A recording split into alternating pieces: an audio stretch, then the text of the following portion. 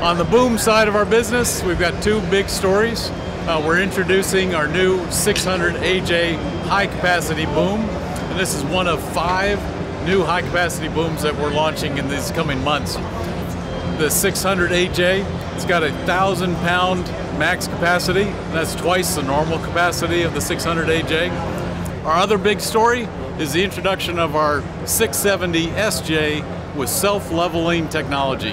This boom has a smart chassis that adapts to rough terrain. It can self-level up to 10 degrees, which lets it get to the job site quickly and easily.